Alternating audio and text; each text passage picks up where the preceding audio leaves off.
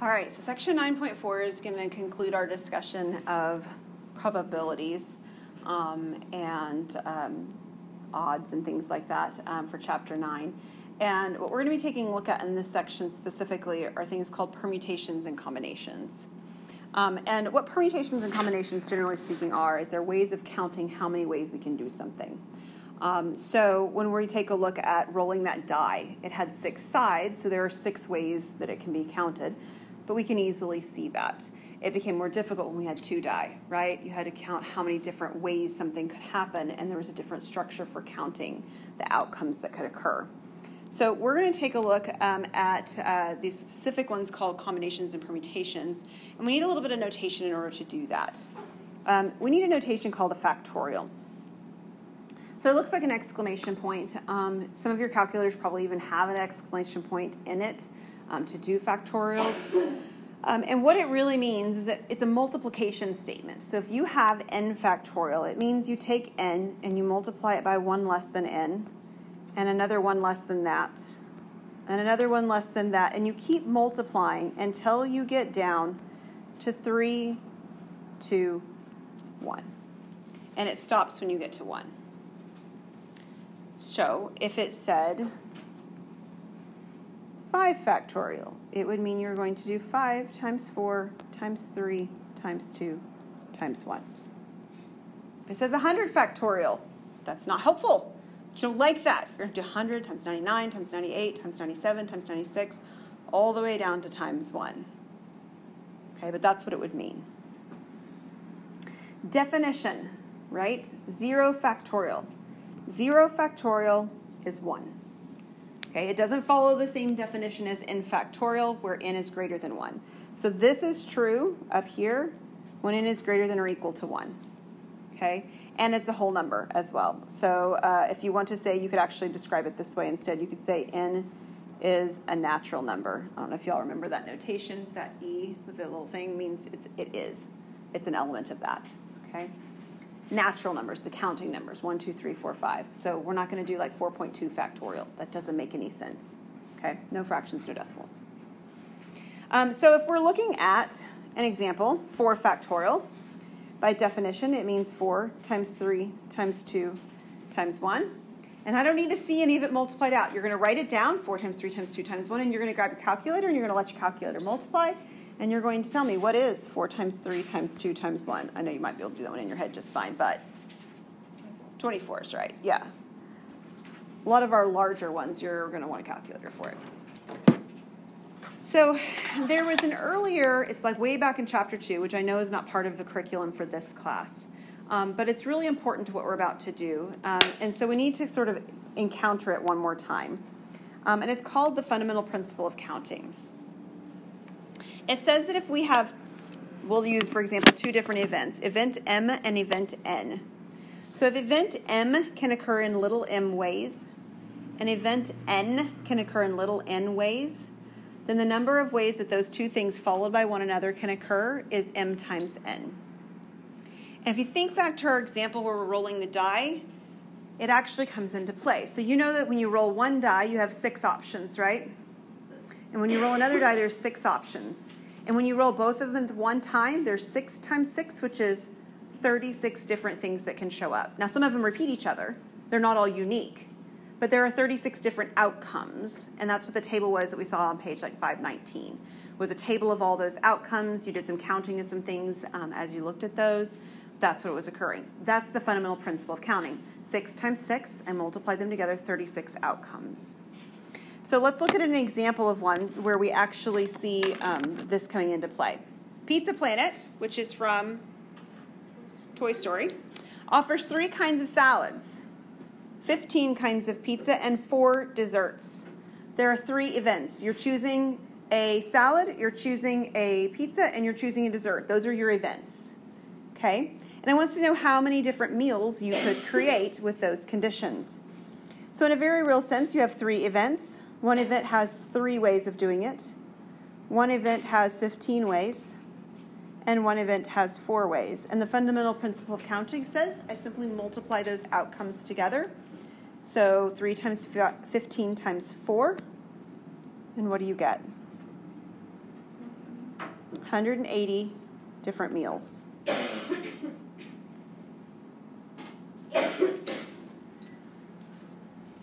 So we see fundamental principle of counting pop up.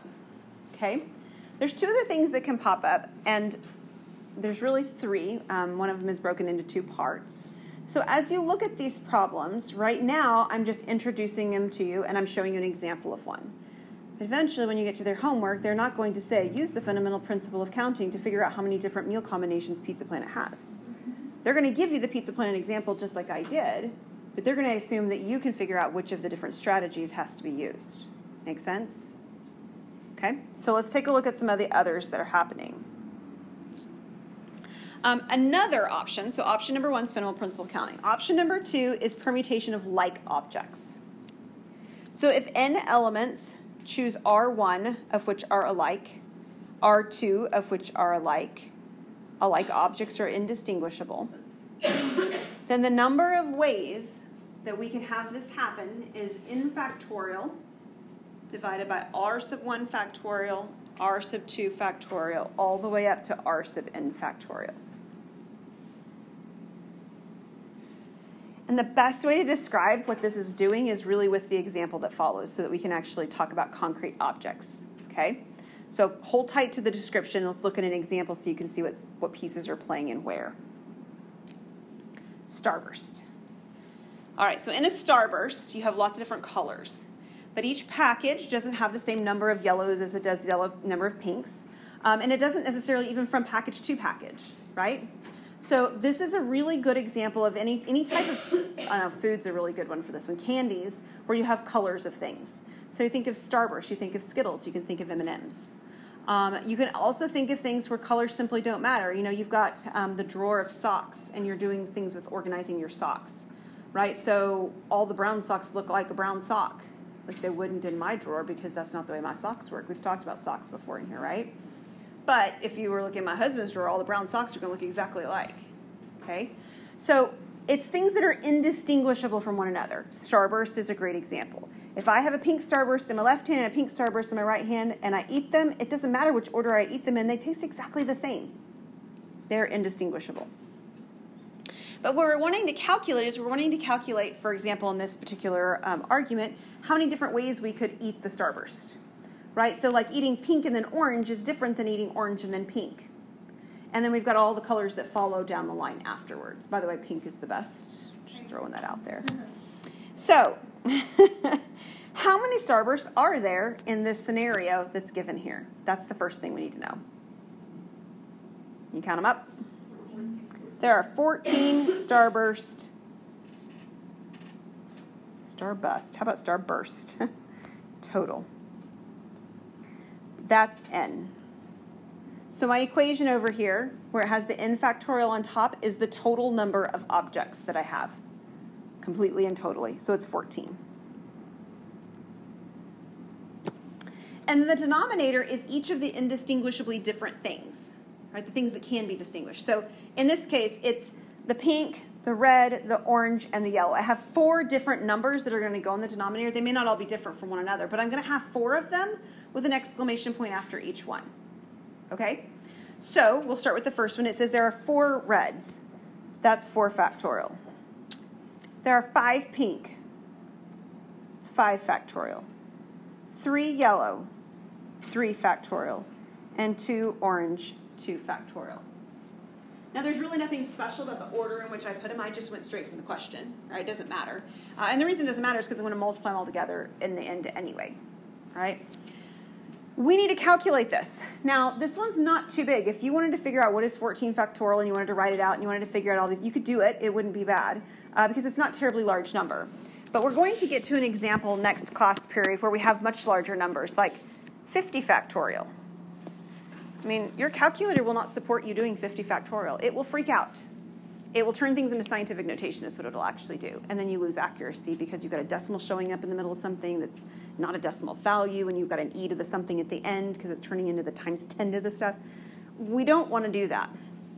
What we know about this is this is supposed to be the number of ways something happens. So whatever answer we get out of this it better be a whole number.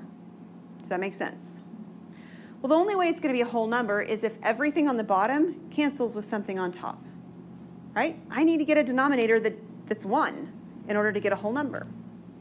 So check this out. We're going to write a few of these out. 14 times 13 times 12. And I'm going to write it out until I get to 5 because 5 is the biggest value on bottom.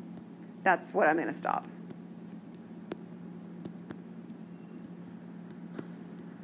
And when I stop with 5 factorial, I have to write the factorial because I'm not writing out 5, 4, 3, 2, 1. So I need to represent that I've got 5 factorial still there because the 4, 3, 2, 1 I didn't write out. And then what I'm going to do is I'm going to write every one of them out except for the 5 factorial that still exists on top. So I still have a 5 factorial on bottom, right, this one. But now I have a 4 times 3 times 2 times 1 for the 4 factorial. I have a 3 times 2 times 1 for the 3 factorial. And I have a 2 times 1 for the 2 factorial. So the only ways that I can cancel and simplify with factorials is if they match exactly. So this is 5 factorial, this is 5 factorial. I can cancel them completely. I can't do it over here and say, hey, look, 14 divides by 2. So I'm going to divide 14 by 2 and rewrite the top as 7 factorial. That is not true. So you can only cancel them if they're completely identical, and these are at this point. 5 factorials have canceled from the top and the bottom. So the next thing you're going to do is you're going to combine pieces, you're going to cancel pieces, whatever it takes to cancel things from the numerator. So I tend to like to combine pieces. For example, 4 times 3 is 12, so I can cancel the 12 out.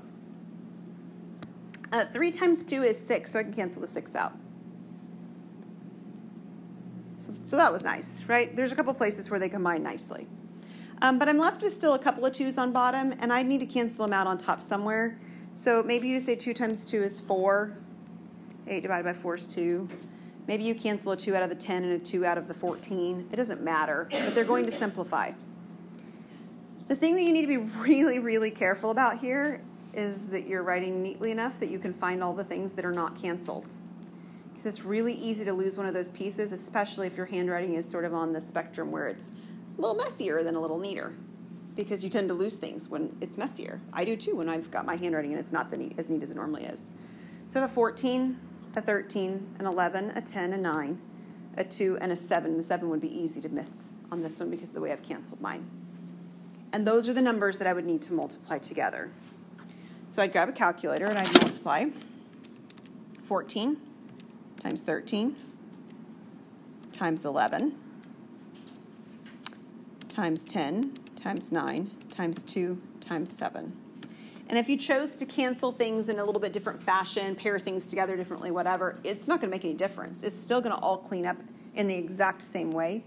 And you're going to end up with 2 million 522,520 different ways of eating that container of Starburst.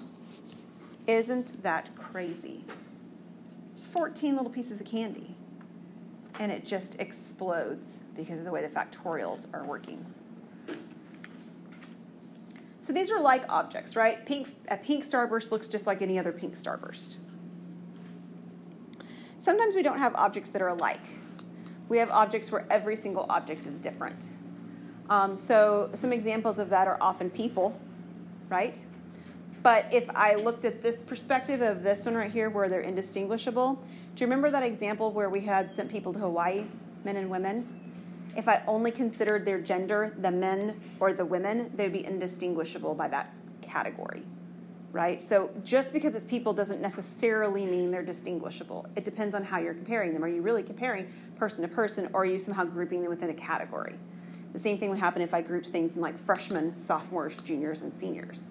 Well, now I've put them in a category. Every freshman is just like any other freshman if that's all I care about on that attribute. So the next one is actually looking at things where we have permutations of unlike objects, things that truly are different in red on the screen and in big, bold, massive words on your paper, it says order matters. The reason that's written in is because the next example I'm going to show you, order doesn't matter.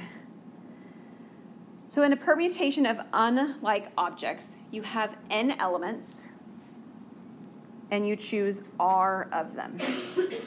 So in our class today, if we were talking about this class, two, four, six, eight, there's eight of us. We would be the eight factorial. And if we wanted to choose one person at random or two people at random, that would be the R. How many am I choosing to do whatever? So you'll notice you see n factorial on top. You see the subtraction of n minus the number you choose on bottom. And they both have factorials on them. So here is an example of where the individual pieces are distinctly different. 30 contestants put their name in a hat for a raffle. First place wins $100, second place wins $50, and third place wins 25. So the reason that these are unlike objects is not because the people are different, it's because the prizes are different.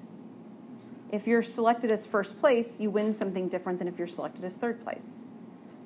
Okay? It wants to know in how many different ways could prizes be awarded. So, notationally speaking, and I didn't make a mention of it over here, but this is actually the notation we start with. The number in front is how many we pick from. The number afterwards is how many we choose. So we have 30 contestants. It's a permutation, okay? Because every object is different. That's what makes them different, makes them distinct. And then I'm choosing three of them because there's three prizes. So all the prizes are different. And it matters then what order I pick them in because if I pick you first or third, you get different amounts of money. Notationally, the notation on top is always the factorial of how many people I'm choosing or how many objects I'm choosing. Here it's 30. And the denominator is always the subtraction of the two. So 30 in this case minus 3.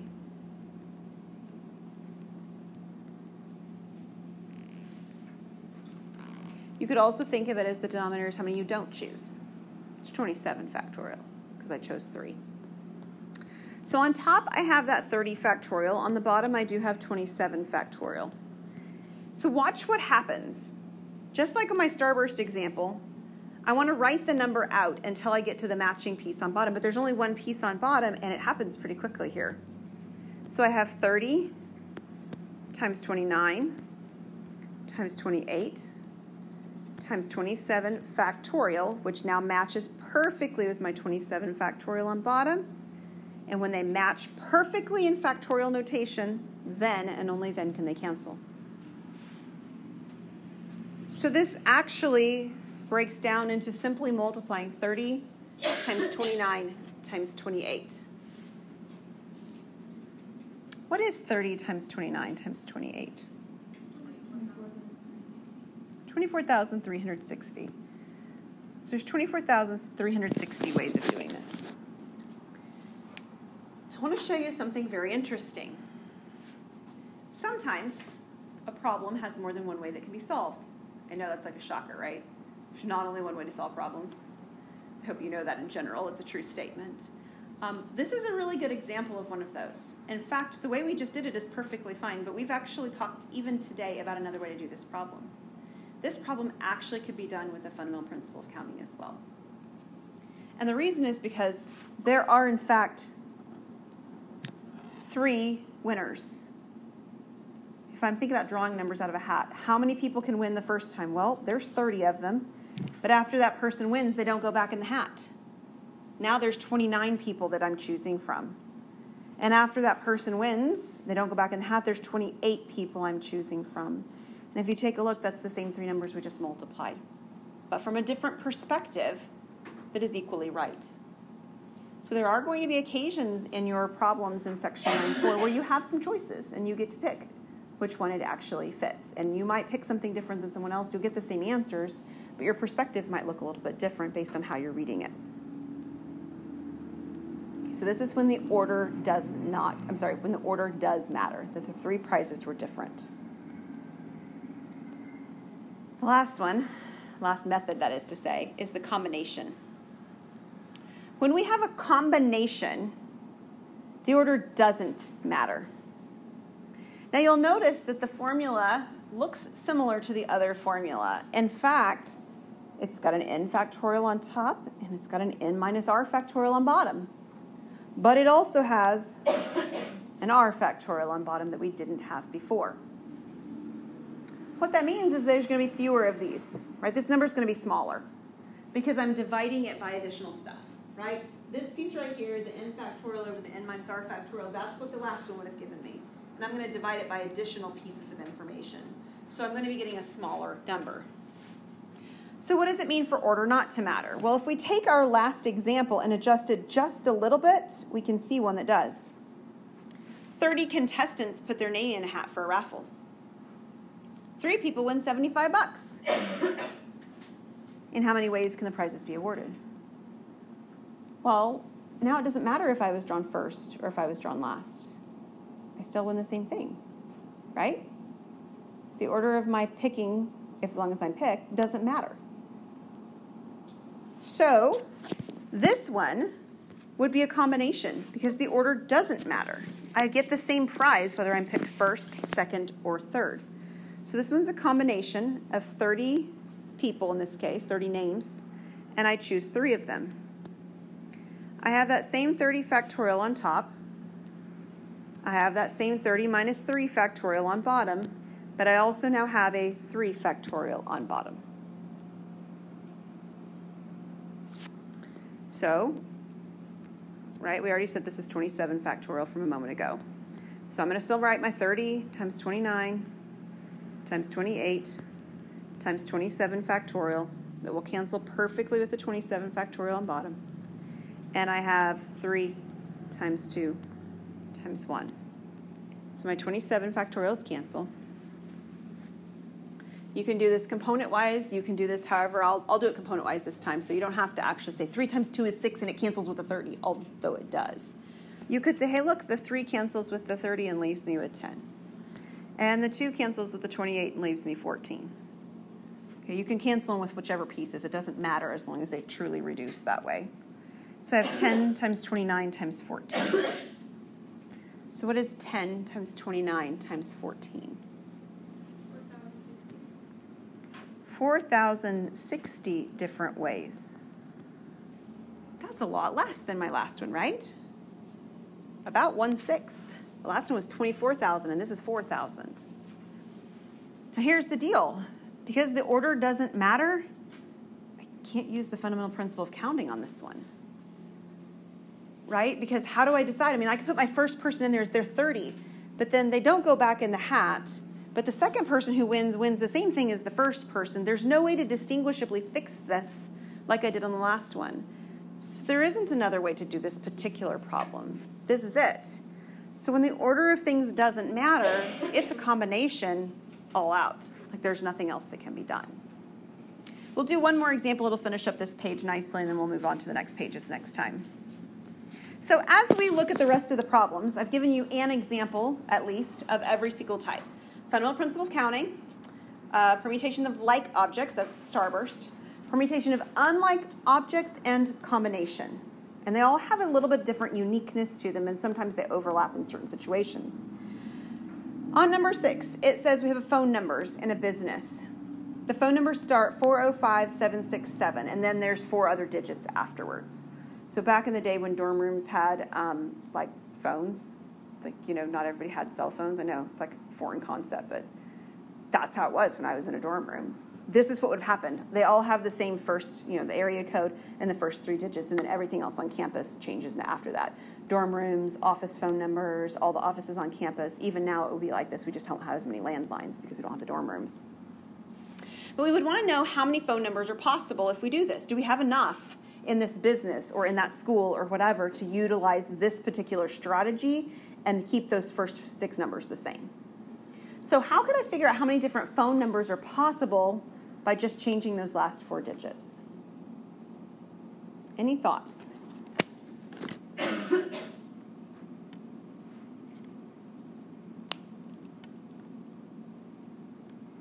Got four options. We have fundamental principle counting, permutation of like objects, permutation of unlike objects, and combinations. Okay, so let's talk about one at a time. Combination. Combination means the order doesn't matter. Does the order of the last four digits matter? It better, because when somebody dials your phone number, it goes to you and not, you know, somebody else in your household who happens to have all the same digits the same, but You swapped the last two, right? So order matters. So it's not a combination. We've ruled one out. So permutation. A permutation has the feeling, though, where I need them all to be distinctly different, right? So like remember my, my persons who has pulling the numbers from the hat? The first person that was selected out and the second person have to be different persons. Do my numbers have to be different numbers? No. So it's not a permutation of like of unlike objects because the numbers don't have to be unlike, right? They can be the same.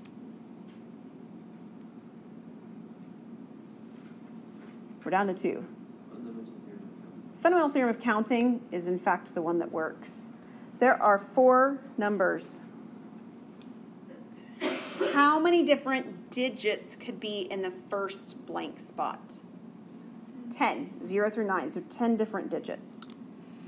And if I weren't allowed to repeat, which would also be a permutation possibility, then I would do that next. But I can with a phone number. It, it works, right? There are 10 different digits for the second one, 10 for the third, and 10 for the fourth. So I can multiply those 10s all together. What value will I get? 10,000. There are 10,000 different numbers Good grief, that's a B. It's a terrible B. I can't do it.